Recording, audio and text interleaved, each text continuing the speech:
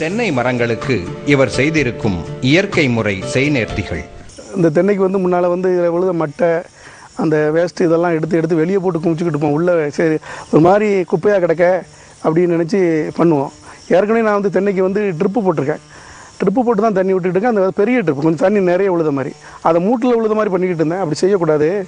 அதுலேருந்து மூணு அடி தள்ளி வட்டப்பாத்தி மாதிரி எடுத்து இந்த வேஸ்ட்டெல்லாம் வெளியே எடுத்து போடக்கூடாது. அப்படி போட்டால் கரையான் வந்து சாப்பிட்டு சாப்பிட்டு அந்த இடம் கீழே அதுக்கு கரையானுடைய ராணி பெரிய க- ராணி கரையான்னு ஒன்று இருக்குது அது பத்து அடி கீழே தான் இருக்கும். அது ஒரு சின்ன விரல் விரல் தண்டி இருக்குமா? இந்த மேலே இருக்க சின்ன சின்ன கரையான்கள்லாம் மேலே பத்து அடிக்கு மேலே வந்து அந்த உணவை எடுத்துகிட்டு எடுத்துகிட்டு ராணி கரையானை கொண்டு கொடுக்கும் பொழுது. அப்படி அடிக்கடி மேலே இந்த ப- நம்ம போட்டிருக்க மக்கு இதுக்காக வரும்போது அந்த மண்ணை பூரா அது மேலே எங்கேயும் போயிட்டு வரும்போது மண்ணில் நிறைய ஓட்டை விழுது.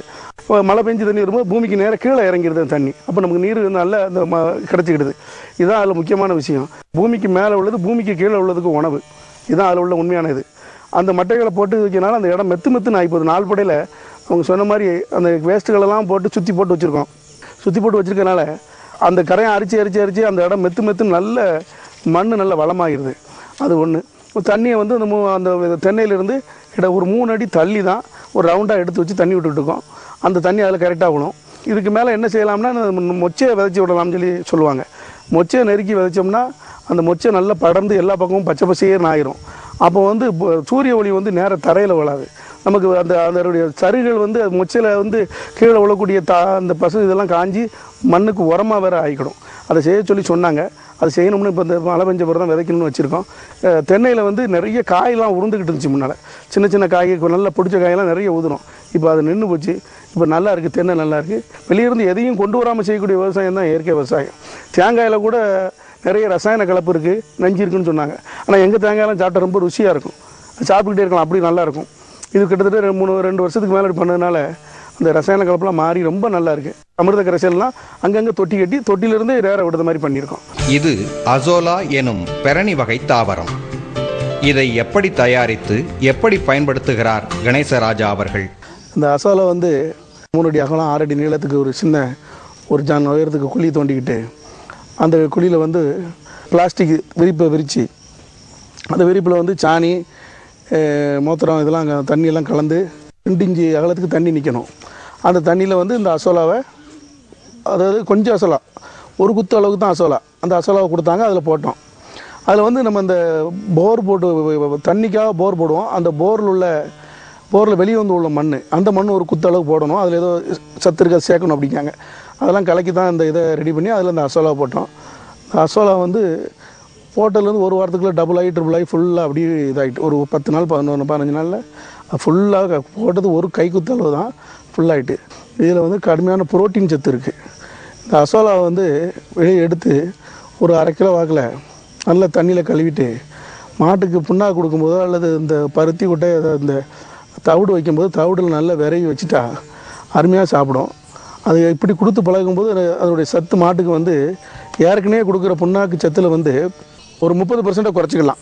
கோழிக்கு தீவனமாக கொடுக்கலாம். கோழிக்கும் தீவனமாக கொடுக்கலாம். எல்லாம் சாப்பிடும். கோழி தான் கோழி நல்லா கொழு கொழுன்னு இருக்கும்.